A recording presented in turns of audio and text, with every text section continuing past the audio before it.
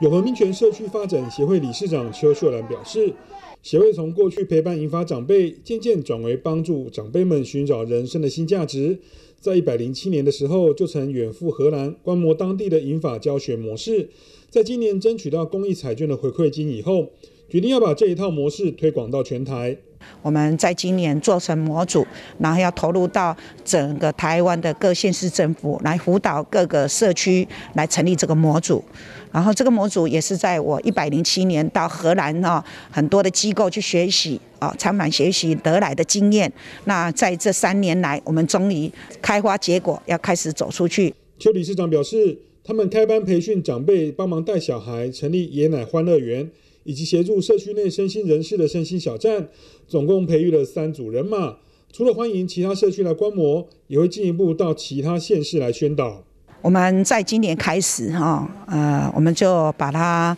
呃分成的呃爷奶欢乐园的受训，以及身心小站的受训哈。然后我们培力的各有三组人马，然后在今年呢，呃，一一的开始上课，然后把重重点啊，将我们在社区里面这三年所做的一些成果啊，然后在应该我们受训的两三个月之后，我们马上在应该是在四月或五月，我们就开始正式走出去了。然后到各个的县市政府来宣导。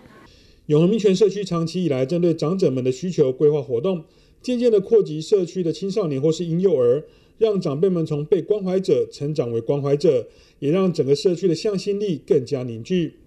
记者赵思渊永和采访报道。